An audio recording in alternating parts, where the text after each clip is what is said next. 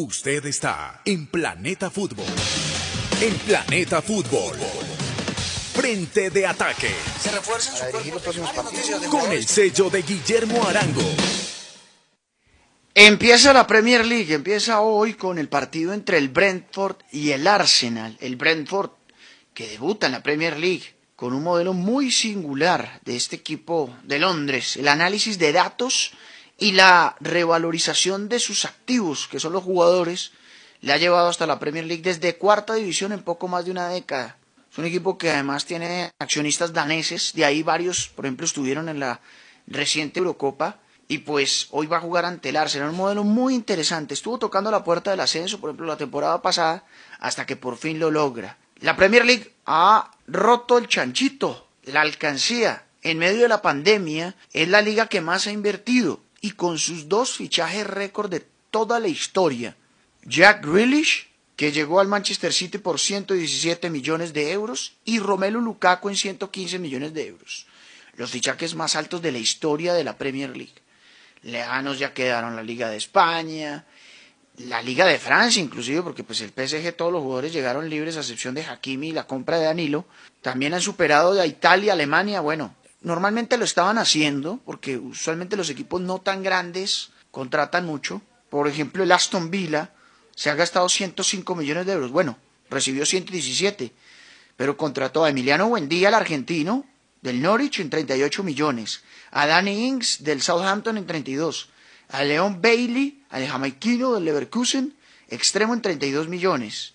Y bueno, además le- les llegó libre Ashley Young, el mundialista de Rusia 2018. Entonces, pues están rompiendo todos los estándares en un momento muy complicado para la economía y el fútbol por la pandemia en la Premier League.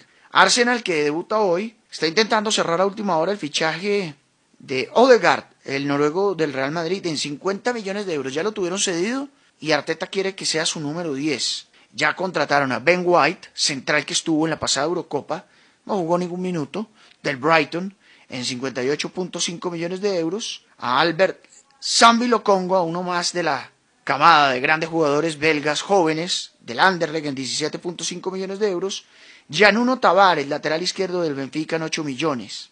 El Chelsea, entonces con Romelu Lukaku, le hacía falta ese centro delantero, el resto del equipo lo tiene en el campeón de Champions, pero con este jugador que ya había estado hace algunos años en el Chelsea, pues imagínense, después de tanto tiempo lo recompran y en una cifra histórica para ellos y para la Premier. El Leeds United ayer se aseguró la continuidad de Marcelo Bielsa hasta junio del 2022 con su taco tradicional donde se sienta, una manera muy bonita de presentarlo. Un hombre que cerró una campaña maravillosa para Leeds después de 16 años de no haber estado en la primera división y dos partidos más y se mete en competencias europeas. Ganó cuatro partidos de manera consecutiva. Ha traído solamente un gran fichaje, a Junior Firpo, el jugador de ascendencia dominicana que estaba en el Barcelona, en 15 millones de euros. Por eso se fue Alioski. El Leicester, que ha estado ahí tocando la puerta para llegar a Champions, trajo al jugador de Zambia, Patson Daka del Salzburgo. Ya sabemos lo que produce la escuela del Salzburgo. Muy buenos jugadores que pasan al Leipzig, que llegan a otros equipos y que pues están mostrando muy buenas condiciones. Goleador, 30 millones de euros. Abubakari Sumaré, mediocampista de primera línea del Lille, en 20 millones de euros. Campeón de la Liga de Francia. Y a Ryan Bertrand, el lateral izquierdo del Southampton. El Liverpool por ahora solamente ha traído a Ibrahima Konaté. Necesitaba un central. Ya regresa Virgil van Dijk. Pero Konaté era necesario para darle algo más de solidez y de compañía, porque pues el compañero de Van Dijk rotaba, ¿no? O era Mati, Bocabac, bueno, tantos jugadores que pasaron por ahí, el mismo Fabiño en alguna oportunidad fue central, y bueno, Konaté entonces del Leipzig en 40 millones de euros. El City va por toda, como siempre, la billetera de los árabes ahí presente, Grealish en 117 millones de euros, y hoy anuncia Fabricio Romano que van a hacer un nuevo acercamiento y preparan una nueva oferta de 150 millones de euros por Harry Kane, el delantero del el Tottenham.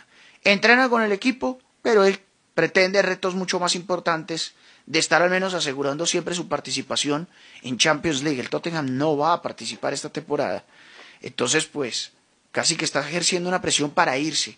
Nuno, el técnico del Tottenham, por su parte, recibe a Brian Hill, extremo interesante de la selección de España, que estuvo en los Olímpicos, de Sevilla 25 millones de euros, uno de los mejores centrales hoy por hoy, el Cuti Romero, de Atalanta, Pierluigi Golini, arquero de Atalanta, ahí sigue Davinson, ahí va a estar Davinson, porque se fue al Der al fútbol de Qatar, al Al Duhail, por ahora Davinson se queda, por ahora, inclusive jugó el último partido amistoso como titular, el Manchester United también se ha reforzado bien. Jadon Sancho, subcampeón de la Eurocopa, gran figura del Dortmund, 85 millones de euros.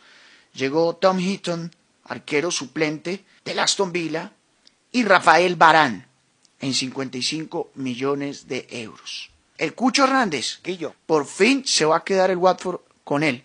Señor. Guillo, perdóneme, le corto el viaje. ¿Ya vio la noticia de la BBC? Dice, algunos jugadores tienen que estar en casa y James es uno de ellos. Ah, sí, señor. Cinco jugadores del Everton, incluido James Rodríguez, están aislados debido a problemas de coronavirus y se perderán el partido del sábado contra el Southampton. Imagínese, tras de cotudo con paperas, muy de mala James. El técnico dijo no iba a ser tenido en cuenta y después explicó el por qué. Y es que hay sospechas de COVID. O sea, no se ha confirmado que tenga COVID, pero hay sospechas. Al parecer presenta síntomas James. Entonces, pues, ya descartado para el partido ante el Southampton, Carlos, y también, si lo iba a utilizar Rueda, y en caso de que dé positivo, para el partido de la selección, ¿no? No sabemos. Es que sin jugar es muy difícil que lo convoquen, Guillo. Muy difícil. Que no ha jugado. Exacto. Independiente de este tema. Bueno, que se recupere. Así es, ojalá. Eso le, quería dar como noticia. Qué pena interrumpirle. Ahí, ahí queda entonces lo de James aislado por sospecha de COVID-19 de un Everton que no ha podido contratar mucho y por ahora retienen a James por también las sospechas de esta situación bien delicada que hay con Sigurdsson, ¿no? Aparente pornografía infantil. No se ha apuntado oficialmente el nombre, pero todo apunta a él. Por ahora se mantiene en el Everton James. Esa es la realidad. ¿Sí? ¿Sigurdsson es el, el 10? Es el 10, es que es el 10 del equipo. Ah, es calidoso, hombre. Ah. Eh, calidoso, y por eso James por ahora se mantiene ahí. Fue tal el escándalo que en varias tiendas de Islandia retiraron productos de él. Indignada la gente, a pesar de que, repito, no hay una acusación oficial, o al menos en los medios, pero todo apunta a que es este jugador. Empieza la Premier y entonces con Brentford Arsenal a las 2 de la tarde.